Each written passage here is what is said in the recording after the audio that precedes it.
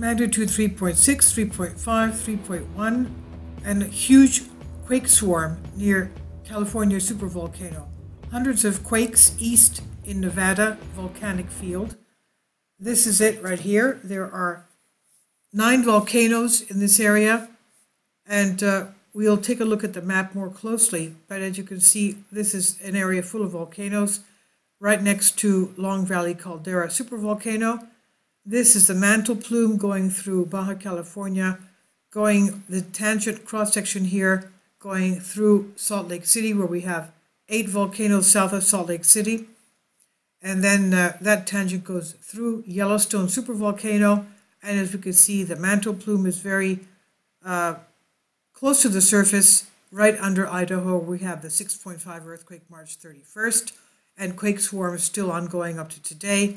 And that area is making that imaginary seven line. The west coast has that same mantle plume going under, sitting under San Andreas Fault and Walker Lane Fault System where we have the Long Valley Caldera high threat volcano and these huge, uh, huge in large, large number of quakes, hundreds of them every day. And we're going to take a look at the map, but just keep in mind that there is hot magma under there already. All right, here we are at the uh, map that we saw before, the Aurora Bodie, that's the closest volcano close to Long Valley Caldera, right there. And uh, if we go into our map, that's Mono Lake right there.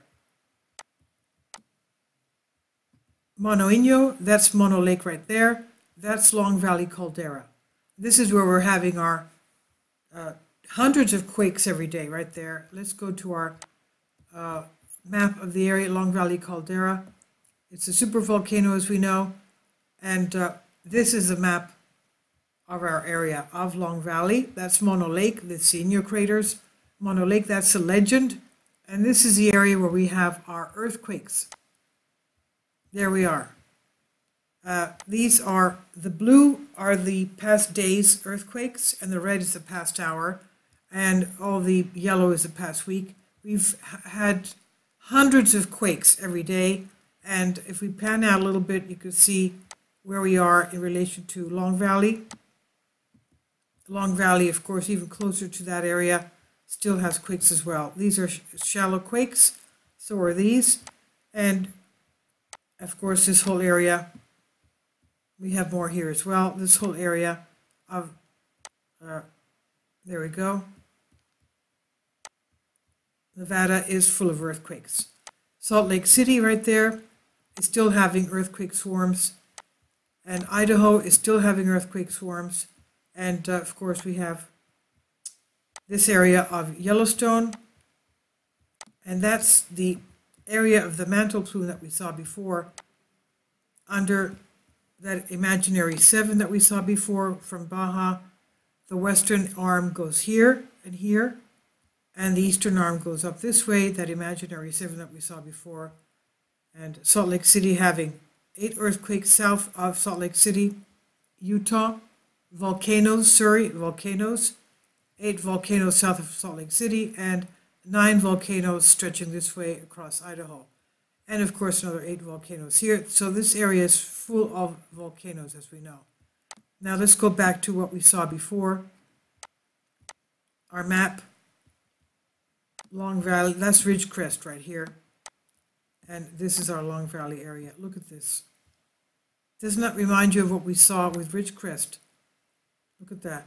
That is uh, has been going on for the past few weeks, and that is a new development there in that area of Nevada. Now let's go back to our 3.6. Uh, there's hardly anybody living there, and let's remember that we do have a, geolo- uh, a geothermal plant in Long Valley, Caldera. Let's go to our shake map the uh, shake intensity. Uh, we did have a four magnitude earthquake yesterday there in that region. And let's go to our population density, tectonics, and population density. Okay, so you can see there's hardly anybody living there. Let's go to our aerial. And that's it. And as you can see, that's Long Valley Caldera. So every time this happens, we have a- shaking of Long Valley Caldera as well. Again, that's a 3.5, and we saw the tremendous amount of activity there. Okay, so every time we have that 3.5, 3.6, sh- uh, three- the 4.0 that we had yesterday did shake Long Valley as well. Now, Long Valley Caldera is a supervolcano in California. The large 17 by 32 kilometer long Long Valley Caldera, east of the central Sierra Nevada range, California, is the result of a giant explosive eruption that happened 760,000 years ago and formed the widespread and voluminous Bishop Tuff.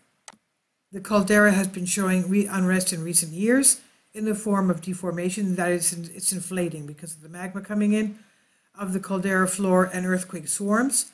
It contains numerous hot springs and fumaroles in order to better understand and monitor the caldera and possible further changes, USGS established Long Valley Observatory. Now, smaller explosive eruptions of rhyodacite pumice occurred as well from outer ring fracture vents. The last activity was about 50,000 years ago. In its early history, the caldera contained a large lake where the new lava dome formed an island.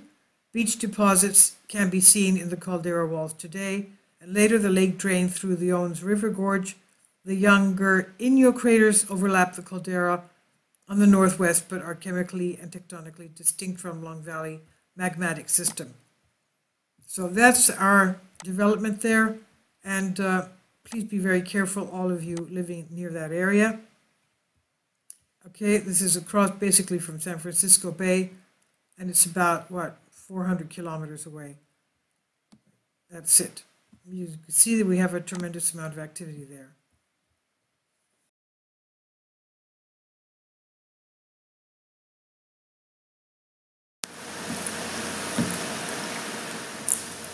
If you'd like to join me on my Patreon account, you will hear content not covered by mainstream media. These riveting stories will be based on my research, and I will state my opinions and give my personal insight on diverse and controversial subjects and world events, events not covered by mainstream media, and not certainly on not supported by YouTube guidelines. So whatever I have on my Patreon, most of those will not be on my YouTube channel. Please consider becoming a member today. More of the, the most significant and important videos will be on my Patreon channel. Your support helps me to continue my research and keeps this YouTube channel alive. And we depend on your support, your generous charity, because we help economically challenged families here in Athens, Greece, in Kapota, and we also help the young generation with university tuition and the community around our church. Thank you.